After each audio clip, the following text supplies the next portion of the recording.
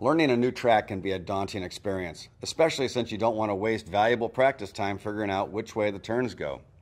Fortunately, there are some things you can do to get yourself up to speed before you even head out to the track. The first thing when I'm learning a new racetrack or helping a new uh, student is to tell them, you've seen all these corners before on whatever tracks you've been to in the past. So don't psych yourself out that you've never been to Spa or you've never been to Daytona just know that you have to do the same thing that everybody else has to do, which is process new corners.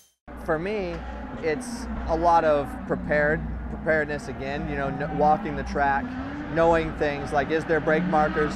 If there is brake markers, are they up high? Are we at a street course? Are they high? Are they down on the ground? Are they cones? Are they signs? That can they move? You know, and thinking about all those things. Um, but the first thing I do is I like to go out and find my brake zones. You know, I like to get out there, push the brake zones, over slow or under slow, whatever you want to call it, and then and get to them quickly. Find a very very close brake marker very quickly, and then just roll through the corners. You know, roll apex speed as much as you can, um, and the last thing, work on power down. You know, so um, for me, it's all I work in the beginning of the corner to the end. For me, learning a new track is about going out and doing the old traditional walk around the track, see the nuances, get down low, look where the cambers are, look at curbs that you can utilize and curbs that you can't, because oftentimes you just go out there at speed and it looks a lot different than if you're out there and you can really study it on foot or on a bicycle. Um, other than that, video game simulation is great to learn tracks. I'm not one that's a big uh, supporter of sitting all week on the video games and, and racing. Um, you know, if I needed to learn a new track, I'll spend 20, 30, 40 minutes on a, on a video game simulation, but I won't sit there all week. I mean, I like to start out, if at all possible, I go on iRacing and look it up on there and, and learn the track because you know, that layout, knowing when you're going to turn left and right is critical and there's nothing more accurate than, than the iRacing software. So yeah, that's the big one for me. If you don't know the, the track, if it's not on on any software anywhere. You know, it's, it's best just to, to walk it first, look at it, go back to your hotel that night. The next morning you go out in the race car and the first lap, take it easy and then build it up. And it's all about the sight picture and where you got to be looking. So you, you're looking for your references for braking, for your turning, and just know you start off hitting those marks and you can tweak it as, as you run up. When I went to Le Mans for the first time, I spent hours. I actually flew out to, to Texas and I spent hours on a simulator just simulating around driving a GT car at Le Mans. And, and when I went there, I mean, it's, it's unbelievable how realistic this stuff is.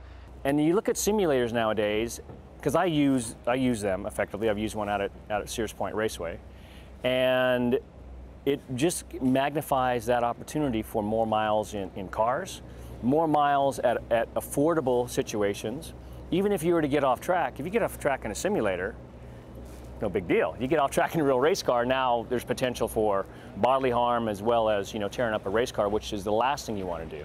I learned the Paul Ricard circuit uh, with a MotoGP game, you know. So I played a MotoGP game that it drove the same track. It was a motorcycle game, but who cares? I at least knew at Paul Ricard that turn one was going to go to the right and turn two was going to go left or whatever it is, right? And so even right now, I'm trying to learn Le Mans for.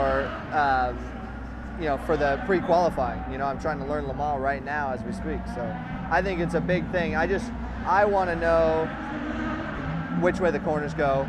Simulators nowadays, video games nowadays are so good that you can learn.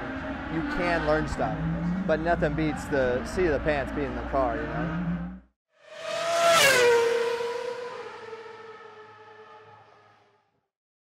You know, safe is fast. Obviously, um, uh, you want to be safe and not make mistakes. And in this type of racing, especially when we were coming into a 24-hour race, we have to be careful and uh, not have anything go wrong or we won't finish. So um, safe to a certain extent, but you do still have to push the limits.